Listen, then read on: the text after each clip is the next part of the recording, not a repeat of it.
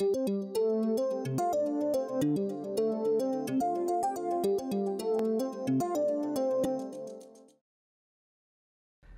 as we've used the Boltzmann distribution, we've discovered that it's useful to be able to compare the difference in energy between two systems uh, to KT, um, this ratio delta E over KT. And the reason uh, that that's useful is because this ratio delta E over KT shows up in the exponential of uh, this relative probability distribution. So for example, suppose that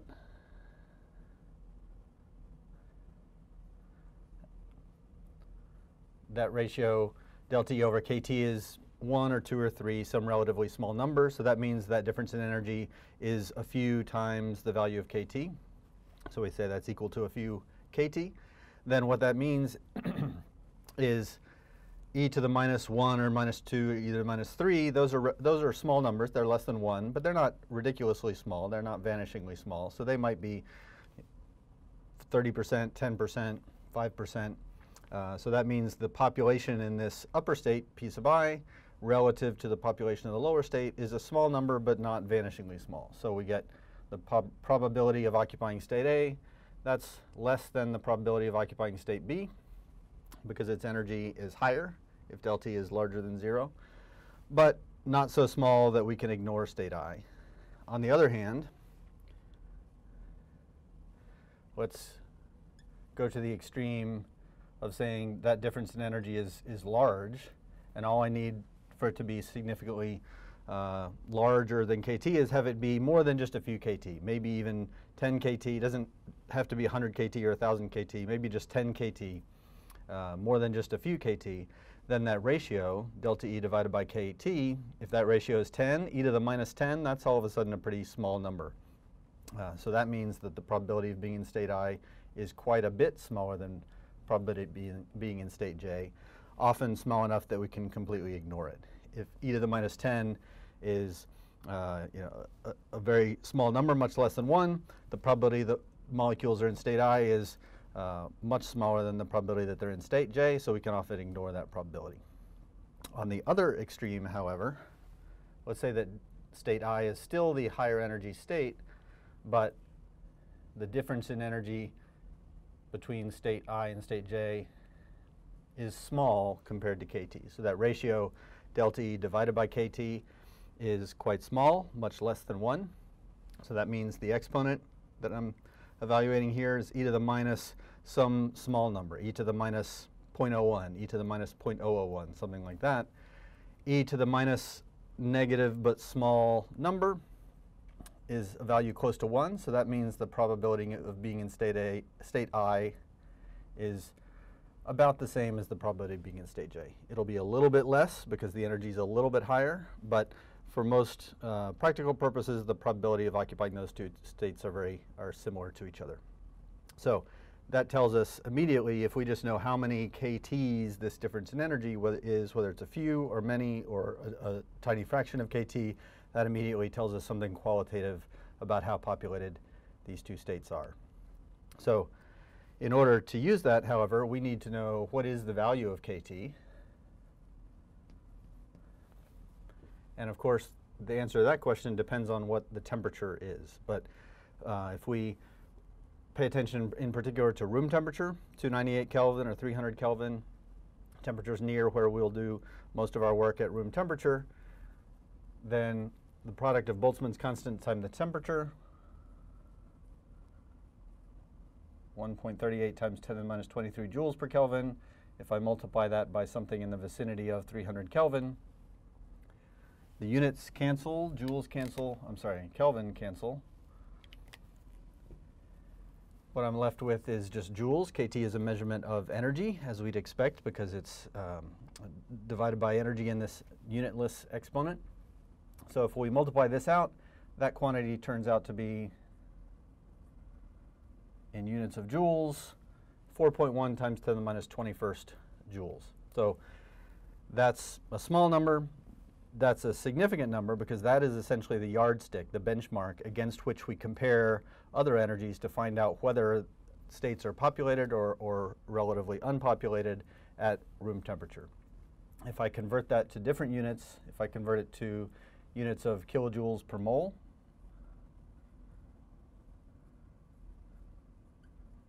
Turns out if I multiply by Avogadro's number and divide by 1,000 to get kilojoules, that'll work out to be about 2.5 kilojoules per mole, or if I prefer to work in kilocalories per mole, a non-SI unit, it's still relatively common for describing energies of chemical reactions, it works out to be about 0.6 kcals per mole.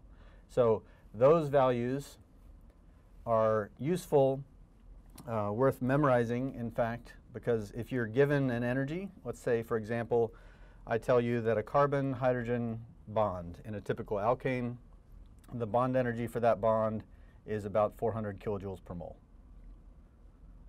Okay, that's a value. It's got a numeric value. It's got a unit. Anytime you see a value, you can ask yourself, is that significant? Is it a large number? Is it a small number? What does it mean?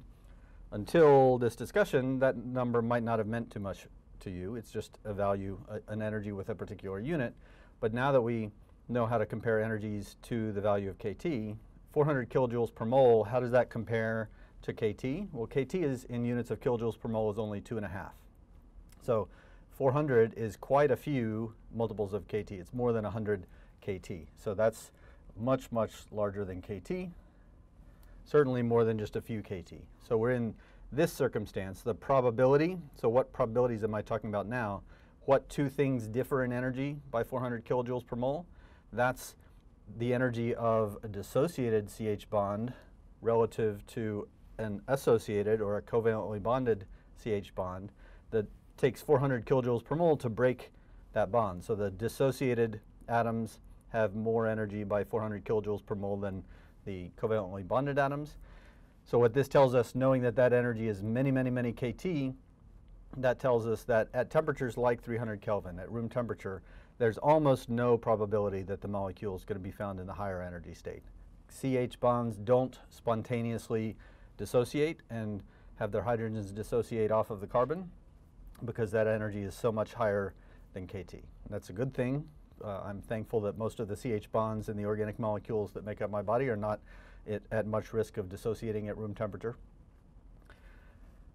I'll give you another example, uh, a different type of bond. So what we've learned from this is CH bonds in general, covalent bonds, uh, CH bonds in particular, covalent bonds more generally, have enough energy so much larger than KT that they don't spontaneously break at room temperature.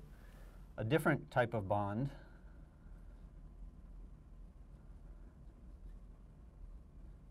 Let's consider the hydrogen bond between two water molecules, for example. So this is not a covalent bond, this is the hydrogen bond. That hydrogen bond energy is about 6 kilojoules per mole. So is that a large number, is that a small number? Depends what we compare it to. The most useful thing to compare it to, again, is KT.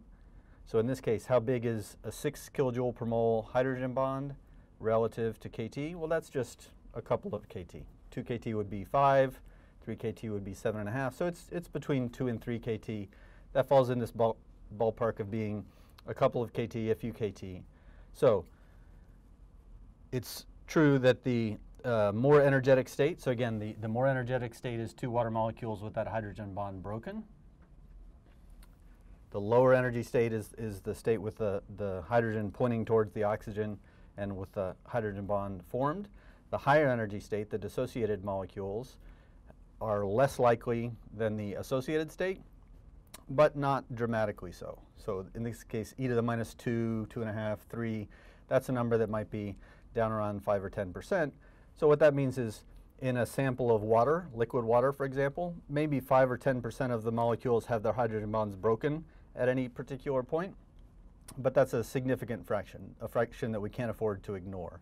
And in fact, that's what causes liquid water to be liquid water. If all the hydrogen bonds were formed and permanent, the same way covalent bonds were, breaking relatively uh, quite infrequently, then uh, we wouldn't have liquid water that diffuses. But if 5 or 10% of those water molecules can break their hydrogen bonds at any given point and then move on to form a hydrogen bond with a different water molecule, that's what leads to the properties of water uh, being a liquid and diffusing at room temperature.